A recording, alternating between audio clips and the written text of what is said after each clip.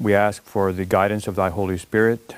We pray, dear Heavenly Father, that you would anoint our eyes with eye salve, that we may comprehend the deep things of God. Help us, O Lord, to discern in your past leadings of thy people lessons for our time. We pray and we thank you in Jesus' name. Amen.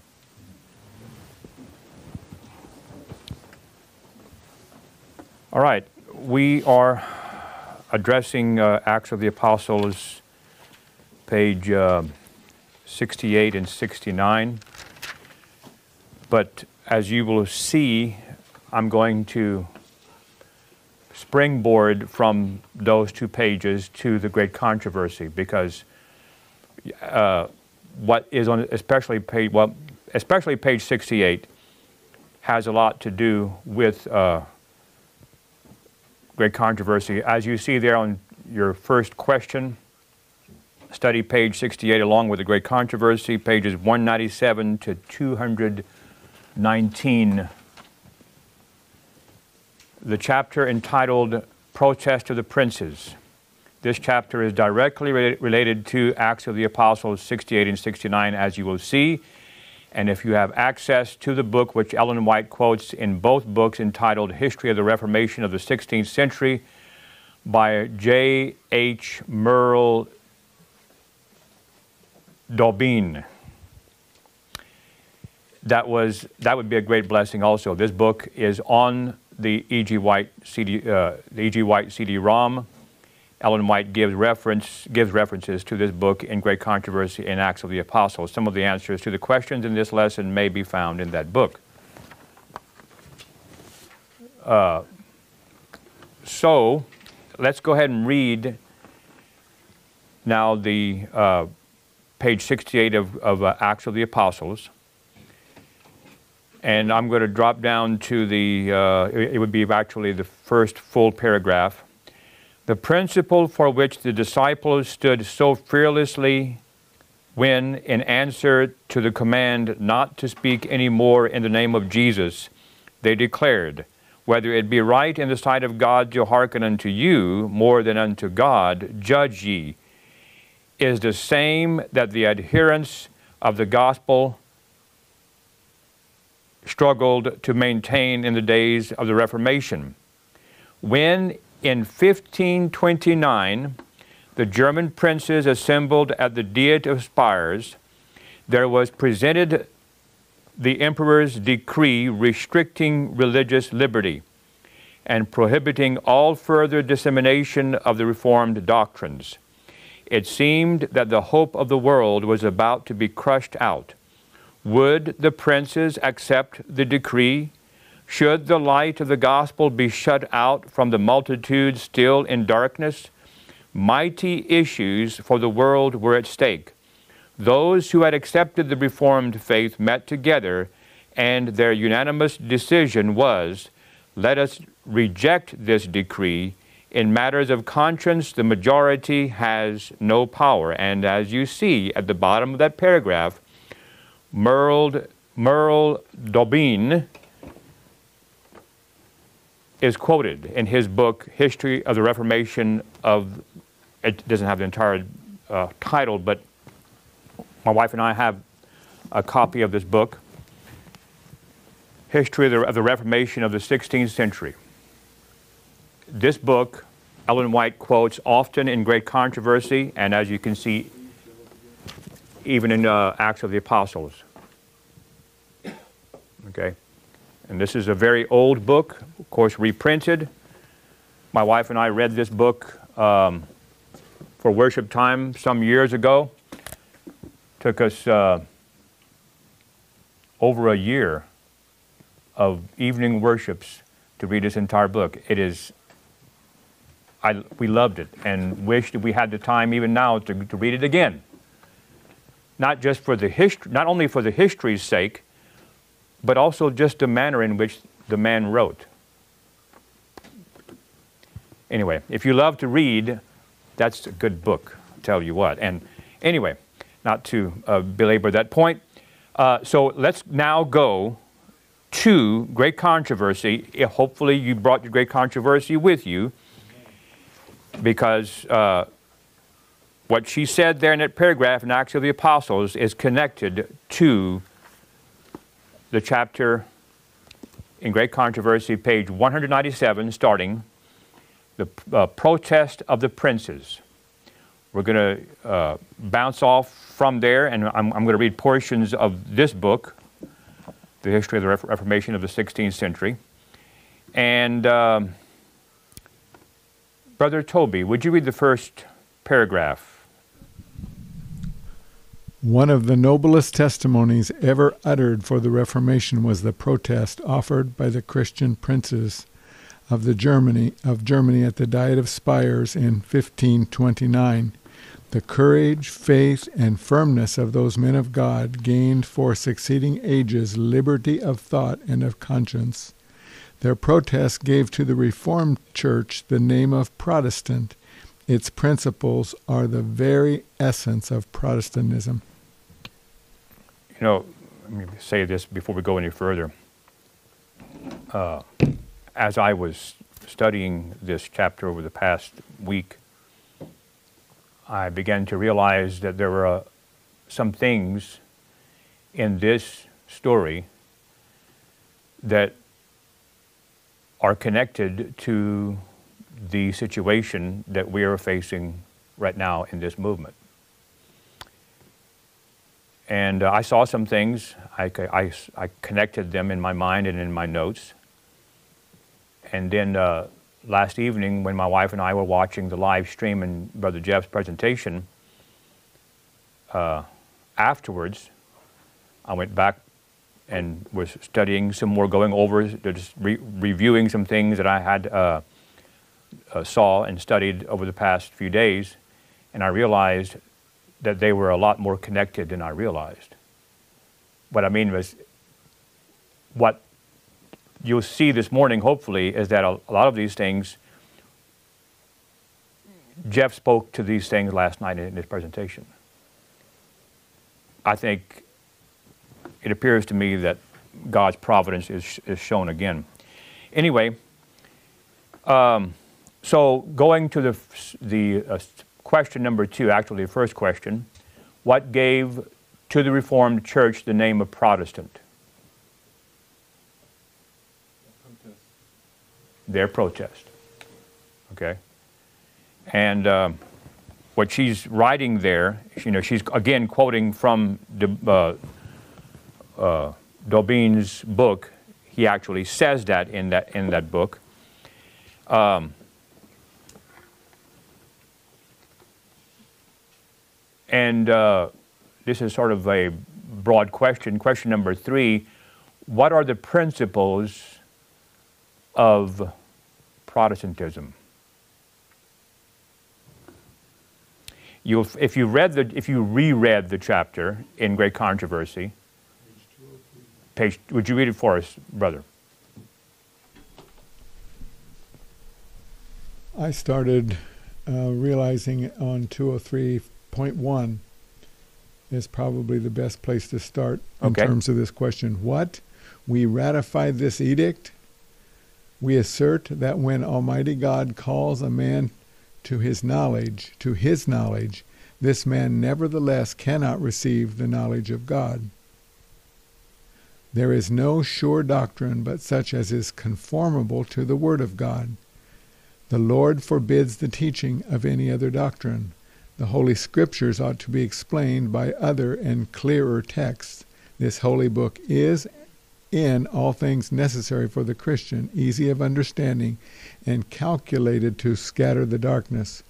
We are resolved, with the grace of God, to maintain now, here's where it starts describing uh, Protestantism to maintain the pure and exclusive preaching of His only Word, such as it is contained in the biblical books of the Old and New Testament, without adding anything thereto that may be contrary to it. This Word is the only truth. It is the sure rule of all doctrine and of all life, and can never fail or deceive us. He who builds on this foundation shall stand against all the powers of hell, while all the human vanities that are set up against it shall fall before the face of God. Okay. I think it lists about three or four things in there that Okay. nail down what Protestantism is. And hang on. Uh, would you read? Would you like um, skip the next two paragraphs and read the following one? where it starts the principles? Yes. The principles contained in this celebrated protest constitute the very essence of Protestantism. So, a quote, whenever, and she's quoting from Dubon, uh, Daubin, uh, the French guy. When she's quoting from him, doesn't matter who was saying it, whether him or her. What is, according to this and what you've just read, and this is for anyone to answer, what are the principles of Protestantism? The Bible only is a that's a good good way place to to, put it. start. Okay, that's, that's you could say that. Anybody else? The majority doesn't control anyone's conscience. Amen.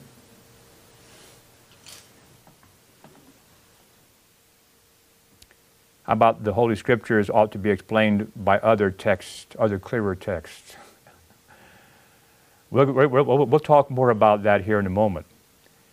Uh, but let's now go to the next question. When did the protest of the princes take place? Give the exact date. What significance may that date have for our movement? Anyone was able to dig that one up? Of course, it's not in the chapter. You'd have to go somewhere else. Yeah, let me just. This is what I was. re- Now, this information may have already been dug up before. I know that uh, the, the, the young sister in Germany uh, did a study on at least the time of Luther. I never saw it in, in its entirety. But anyway, whether, whether it was dug up before or not, I don't know.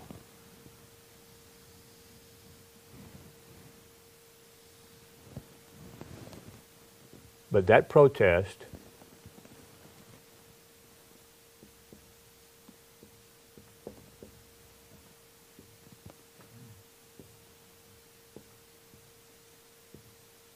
Fifteen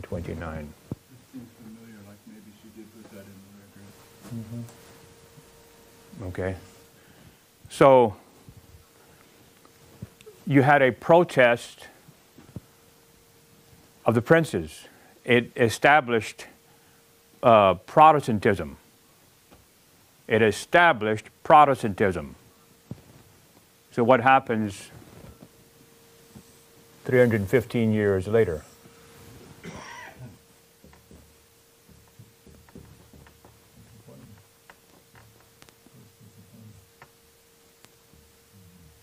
Oh, not, no, no, no, no, no, no, no. Sorry. Got a one track mind here. What happened on that for his- prophetically? First disappointment. Protestantism was surrendered. Protestantism was surrendered. Wikipedia doesn't agree with your first date. Is there a source that you've used? You can't get much better than this one. Okay, that's that's your source.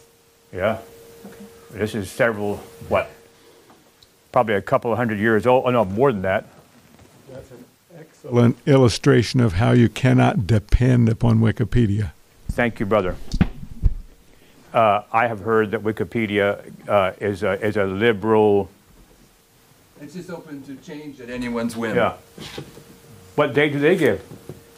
Um, they actually say the protest was April 25th, 1529. 25th? Uh-huh. See, this guy, I'll tell you what, a- and if you can find, because this is on the CD-ROM, if you can find it, he doesn't give just one date. I mean, he gives, that's the date of the protest, but I mean, he gives for uh, several events surrounding that event, he gives other dates. To- I mean, I mean, he's detailed. So, yeah, but How many years is that? 315. God's help me with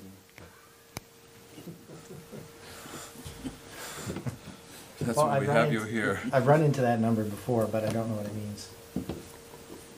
Okay. So, okay, you have, notice now, brothers and sisters, we have not only the date is connecting to the Millerite movement at the very least, but the event itself. Let's continue. We're, we're going to get to it. What, I, what, I'm, what I'm trying to say here eventually, but I want to bring up something else before we get to that which is also significant with this. It's the whole thing together. So, number five, question number five What issue did this protest revolve around? What does this have to do with God's people at the end of the world? What, what will be the central issue for us? So, it was religious liberty for them, freedom of conscience. It was, written. now, mind you, and I know this may not need to be mentioned, this is very obvious, but I mean, it was a, an issue of the, of the, of the relation of church and state. Church and state, like Sister White, we read it a while ago, or will read it actually on page 69 of Acts of the Apostles, where she says that a thus saith the Lord is not to be substituted for thus saith the state or thus saith the church. Okay? This is what these men, these noble men, were standing uh, for. They were standing against a union of church and state. Brother Toby. Um, the way it described it in the chapter on protest of the princes, the purpose, uh, the central issue was the the resolution that had granted freedom of conscience. The central Yes, okay. wa- was that it would be annulled at this at this Yeah. protest. Thank you for bringing, up, uh, bringing that up because it's not that this is all important, but just so you'll uh, have some bit of orientation about what was going on at the time. Um, in this chapter where Dobin is telling this story, he brings up the fact, let me read to you the first couple of paragraphs in this. If the imperial party displayed such contempt, it was not without a cause. They felt that weakness was on the side of the, of the Reformation and strength with Charles and the Pope. But the weak have also their strength, and of this the evangelical princes were aware. As Ferdinand paid no attention to their complaints, they ought to pay none to his absence, to appeal from the report of the Diet to the Word of God, and from the Emperor Charles to Jesus Christ, the King of kings and Lord of lords. They resolved upon this step. A declaration was drawn up to that effect, and this was the famous protest that henceforth came or gave the name of Protestant to the reno- renovated church. Uh, so, what there was, there was this um, decree of uh, 1526. And let me read further here. It says, The elector and his allies having returned to the common hall of the Diet, this addressed the assembled, thus addressed the assembled states. Dear lords, now, okay, so you have these, this is, this is this gathering of these princes and others, and they're going to address the, the, the, the crisis that they are in. Because you'll see, if you would read this chapter, you, you would see that Ferdinand the king had given them religious liberty. He had agreed, it was, it was a decree that granted them re- religious liberty. But the papists didn't, of course, like that. So they tried to interfere and bring the king back to the point where he was before this decree. So this is why the princes are now gathering and they're essentially saying, look, you granted us religious liberty. Don't renege on your promise. Essentially, in the most, most simple way I can put it. They were trying to bring him back to that original decree. And you'll, you you would see this uh, it's called like uh, the, edict, the Edict of Spires, uh, this celebrated act. Okay, they were trying to get the, the king back to his original position. So it says, uh, so they have this meeting and they say, uh, Dear lords, cousins, uncles, friends, having, require, having repaired to this diet of the, of the summons of His Majesty and for the common good of the empire and of Christendom, we have heard and learnt that the decisions of the last diet concerning our holy Christian faith are to be repealed, and that it is proposed to sub- substitute for them certain restrictive and onerous resolutions. Um, skipping here, we cannot therefore consent to its repeal. Um, and then you would see here several places where, sister, where you can tell it's the same that Sister White is quoting from. Okay? And um so further down it says, uh, For this reason we reject the yoke that is, universe, or that is imposed on us. And although it is universally known that in our states the holy sacrament of the body and blood of our Lord is becomingly administered, we cannot adhere to what the edict proposes against the sacramentarians, seeing that the imperial edict did not speak of them, that they have not been heard, and that we cannot resolve upon such important points before the next council. Moreover, so he has the word more, they're saying moreover in, in this report, and then Dalbin interjects these words. He says, and this is the essential part of the protest. Then he continues with their, with their uh, um, I call it a report, it's, it's, it's the protest of the princes, okay? They continue, as the new edict declares that the ministers shall preach the gospel, explaining it according to the writings accepted by the holy Christian church. We think that for this regulation, in other words, your promise, your granting us religious liberty, for this regulation to have any value, we should first agree on what is meant by the true and holy church. So there's the issue of what? Before I say it. He's saying, he's, he's quoting them as saying that, uh, we could, that, that, that we can only preach the gospel according to the writings accepted by the holy Christian church we think that for this regulation to have any value, we should first agree on what is meant by the true and holy church. Now, seeing that there is great diversity of opinion in this respect, that there is no sure doctrine but such as is conformable to the Word of God, that the Lord forbids the teaching of any other doctrine, that each text of the Holy Scriptures ought to be explained by other and clearer texts, and that this holy book is in all things necessary for the Christian, easy of understanding, and calculated to scatter the darkness, we are resolved, with the grace of God, to maintain the pure and exclusive preaching of His holy, of His, of His only word, such as is contained in the biblical, and then Brother Toby read what I'm reading to you, this portion of it at least, just a few minutes ago. Okay? And so, what is the issue here?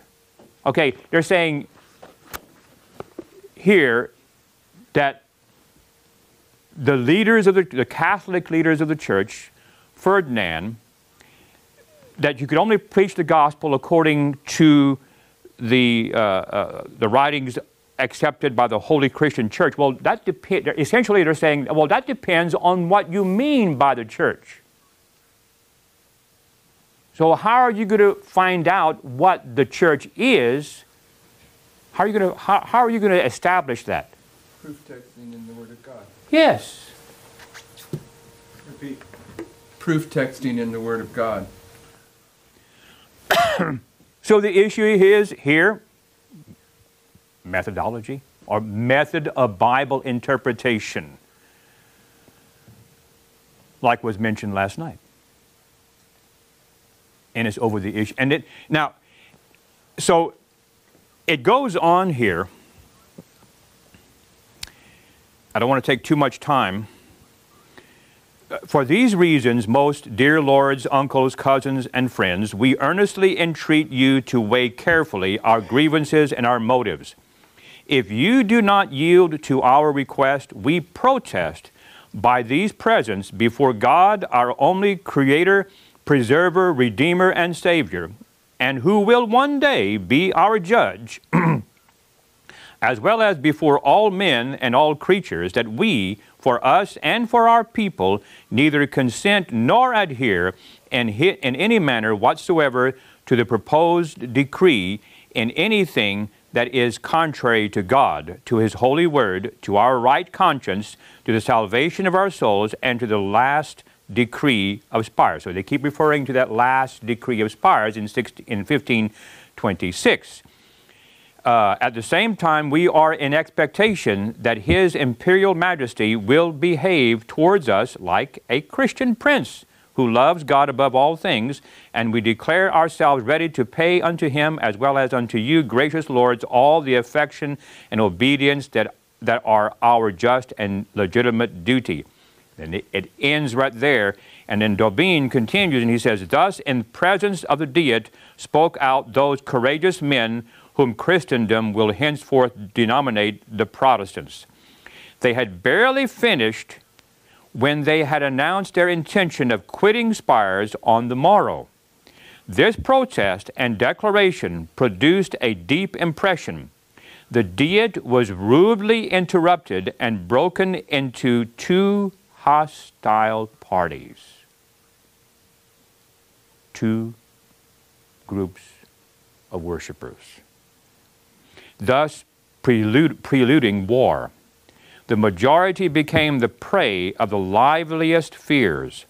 As for the Protestants, relying, this is hard, hur uh, humano upon the edict of Spires and hur divino upon the Bible, they were full of courage and firmness. I'm not going to take the time to write those down on the board.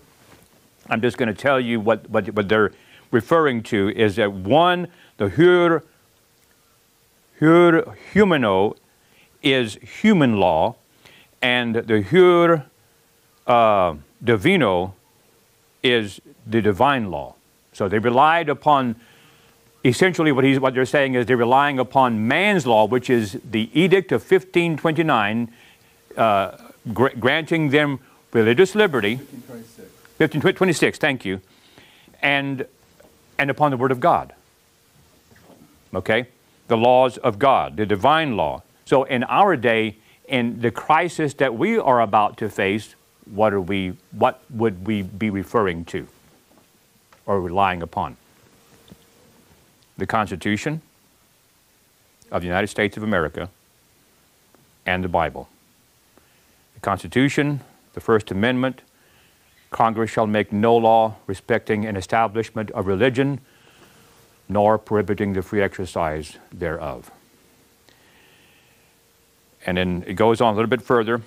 It says the principles contained in this celebrated protest of the 19th April 1529 constitute the very essence of Protestantism. Now, this protest opposes two abuses of man in matters of faith. The first is the intrusion of the civil magistrate, and the second, the arbitrary authority of the church. And it goes on in, about that matter. They're addressing both of these abuses the abuses of the state and the abuses of the church. Um, there's a lot more here. It's, it's, it's wonderful reading. I may refer to it here in, again in a moment. Yes. I know we're April 19th, but from 1529 to 2019 is 490 years. 1529 to where? 2019 is 490. Okay. Yes. It is correct. Um, Wikipedia does agree with April 19th being their first, almost the seed, and then April 20th they had a, a more developed And then on April 25th, they did their third. So they actually had three protests, just like Boston, Concord, Exeter, down at the end would line up with the three. And the third one was doubled because there was two notaries that signed it. So there's actually a really clear parallel between this and then what went on in 1844. And so it does agree with your April 19th date. Okay. And you could put an argument of methodology Yes, that's what, that's what I meant to do, actually. Yes. under them, but you could also extend your line out and go to the first day of the first month, which is 9-11. And, uh, the, the action of the state was the Patriot Act against the Constitution, and the action of the church was spiritual formation. And then we're dealing with the whole thing all over again now in 2019 at the level of the priests, 490 years later. Amazing stuff. Yes. Even though some of us don't like the word methodology. You know what? what, just the way, the, the, uh, to me, a better phrase, but it takes more time to say it, is methods of Bible interpretation. I'm almost positive that's, that's how she puts it. The rules of interpretation adopted by Miller and his. Or that one, yeah. associates. Yeah. I think we should use those.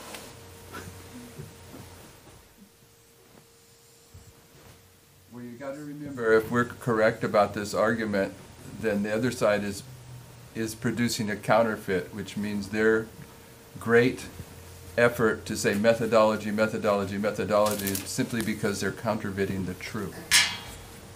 And they would use the correct word to do Yeah. so.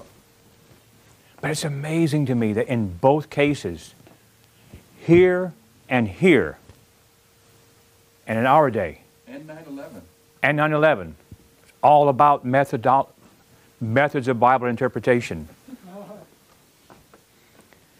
Yes. Now, let's bring up something else.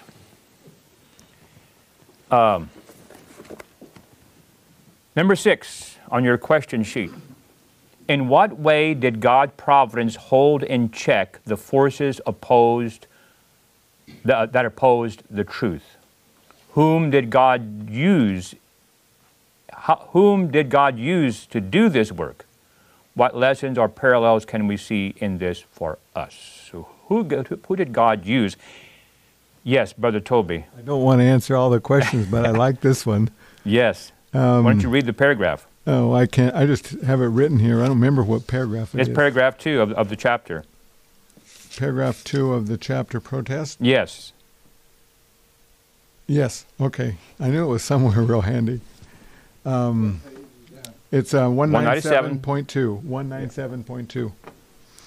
It goes through and talks about. Do you want the whole paragraph or just the last part? No, go ahead and read the entire paragraph. Get, get the whole thing A dark and threatening day had come for the Reformation, notwithstanding the Edict of Worms declaring Luther to be an outlaw and forbidding the teaching or belief of his doctrines.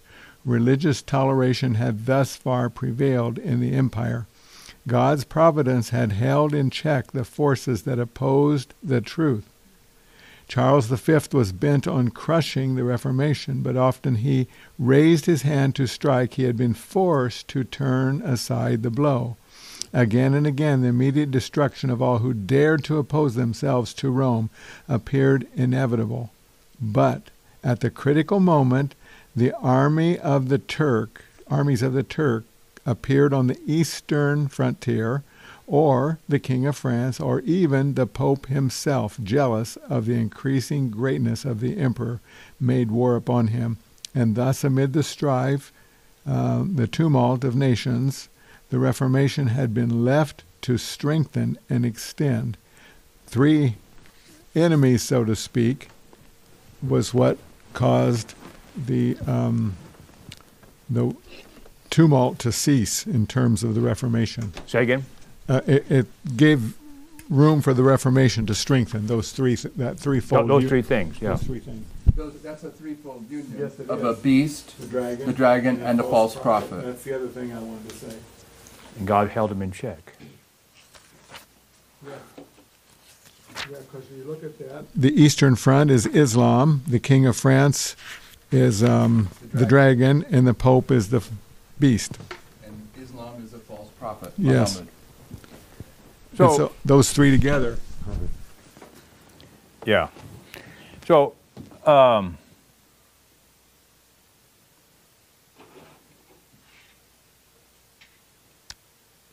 number seven, question number seven. Do a word search in the spirit of prophecy for the phrase strife and tumult of nations. What lessons can we gain from this in connection with its use in the great controversy, page 197? Anyone pursued that one? In interest of time, the last page, 754 of volume 5 of the testimonies, last paragraph of the entire book. Brethren, it is no time now for mourning and despair, no time to yield to doubt and unbelief. Christ is not now in a sa- not now a savior in Joseph's new tomb, closed with a great stone and sealed with a, with a Roman seal. We have a risen Savior. He is the King, the Lord of hosts. He sitteth between the cherubim, and amid the strife and tumult of nations, he guards his people still. He who ruleth in the heavens is our Savior. He measures every trial. He watches the furnace fire that must test every soul. And I think of the furnace that Brother Jeff mentioned last night, Daniel and, the, or rather the, the three Hebrews, during from now until July 18th. Uh, When the stronghold, uh, when the strongholds of kings shall be overthrown, when the arrows of God's wrath shall strike through the hearts of his enemies, his people will be safe in his hand. You see, you have there the furnace fire, the arrows of God's wrath, arrows, Islam, the strife and tumult of nations. You have them all in that one paragraph. Okay, then the other reference is uh, Prophets and Kings, page um, 536. Prophets and Kings 536.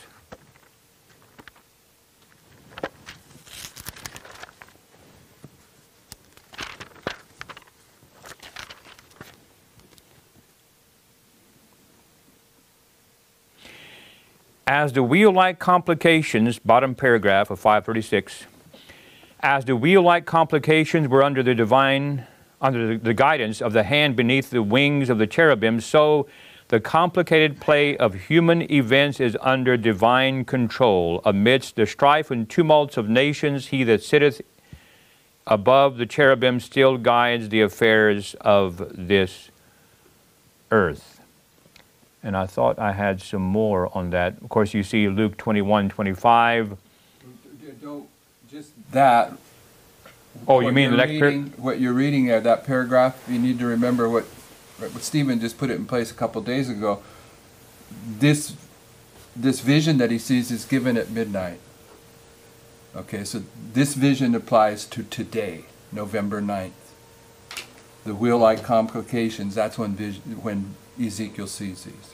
On, Okay. on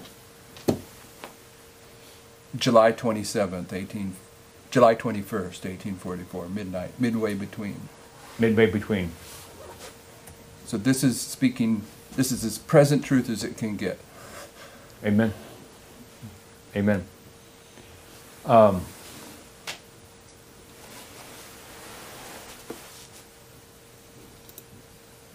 all right. Um, we'll go, go to question number uh, eight. So let's go back to, we're go, coming full circle here now. Back to Acts of the Apostles, page um, 69.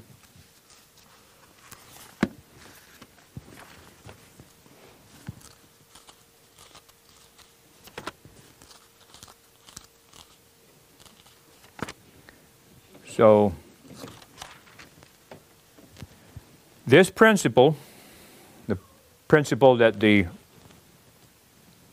princes or the uh, princes of Spires um, supported, this principle we in our day are firmly to maintain the liberty of conscience.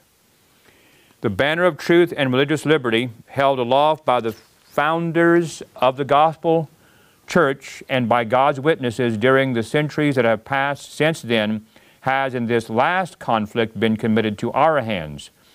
The responsibility for this great gift rests with those whom God has blessed with the knowledge of His Word. We are to receive this Word as supreme authority. Now, breaking off from that paragraph for a moment, the question is, according to question number eight, uh, what are we to recognize human government as? So the paragraph continues We are to recognize human government as an ordinance of divine appointment. And some people would capitalize on that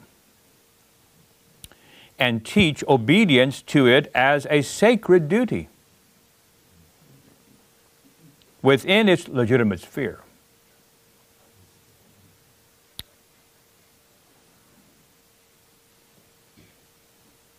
So we are to teach obedience to it as a sacred duty. But what are we to do when its claims conflict with the claims of God? Well, says, we must, but when its claims conflict with the claims of God, we must obey God rather than men. Now, um, but when will and I hope you understand, I hope we all here understand that this is connected to Romans 13. You know, we should know what Romans 13 is. What's Romans 13? Just, well, we don't have enough time. Let's just, but Romans 13 is, it describes our duty to the state. Okay? But when will Romans, uh, let's read Romans 13 1 so we get oriented here. I was going to go to it and I decided not to, but I just decided I better go to it so you'll know what I'm talking about. Romans uh, 13 1. Let every soul be subject unto the higher powers, for there is no power but of God. The powers that are that be are ordained of God. Thank you. So, when will that be quoted as a reason why we should obey the civil power in spite of a clear, Thus saith the Lord, to the contrary?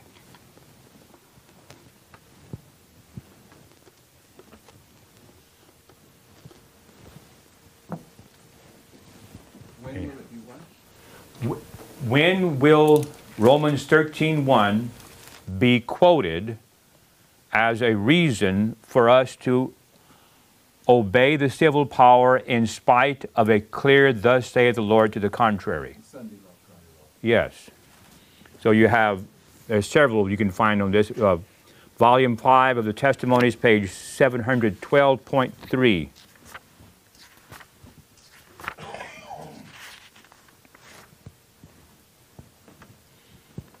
there is a prospect before us of a continued struggle at the risk of imprisonment, loss of property, and even of life itself to defend the law of God, which is made void by the laws of men. In this situation, worldly policy, worldly policy will urge 5T 712.3.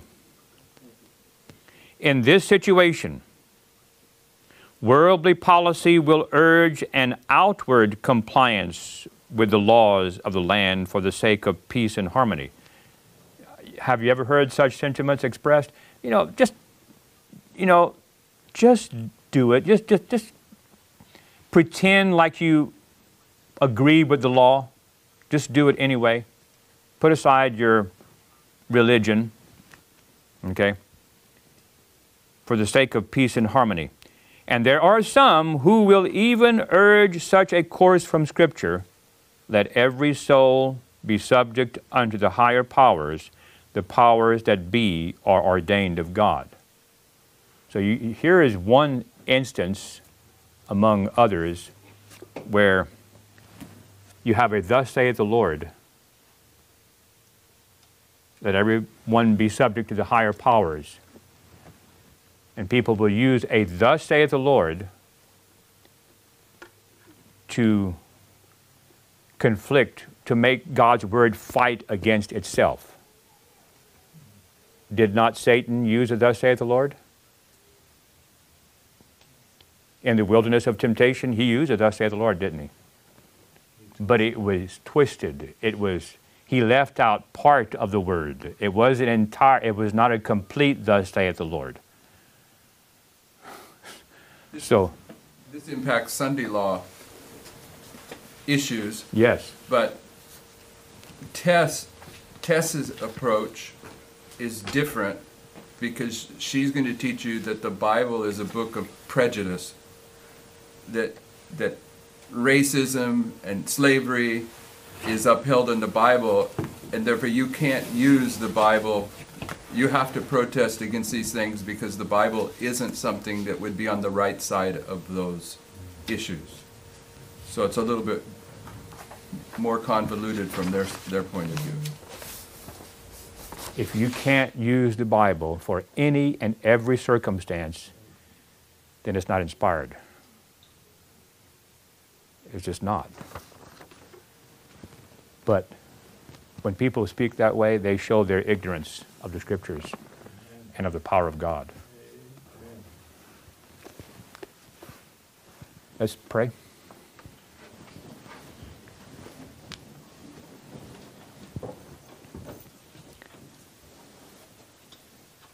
Our Father, which art in heaven, we thank you for a thus saith the Lord. And we thank you that our Lord and Savior, Jesus Christ, in the wilderness of temptation, said, It is written. We thank you for his example. And Lord, we pray that you would help us to follow his example, whom our fathers, the prophets, the patriarchs, the reformers, they all followed him, and we want to follow in their footsteps as they followed him. So, Father, we pray for your continued guidance for the rest of this uh, time. We pray that your Holy Spirit would, would continue to guide in everything that is said and done and thought of. We pray and we thank you in Jesus' name. Amen.